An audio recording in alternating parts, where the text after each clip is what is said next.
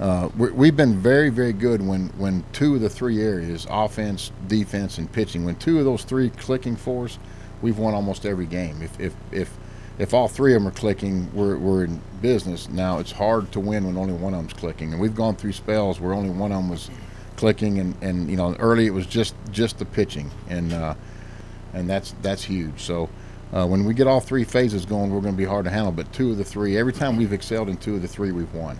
Oh yeah, we're capable of doing a lot. We got a lot of good arms. We got a lot of good bats, and we should just keep being able to win games. We have the ability to win as many as we want to. We just got to go out there and play play like we can.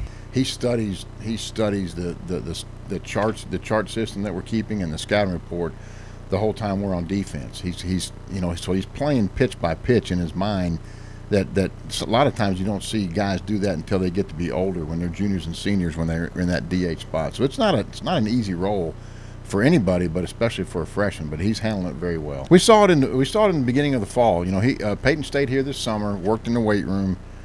Uh, so so it's it's a perfect example of a guy going into his senior year is going to graduate, going, hey, I got one semester left to play baseball. Let's just let it hang, and that's what he's doing now. He's having fun playing, and that's uh, you know, he's never too high, never too low. He just he's enjoying the game right now, and it's fun to see a, a senior get to do that.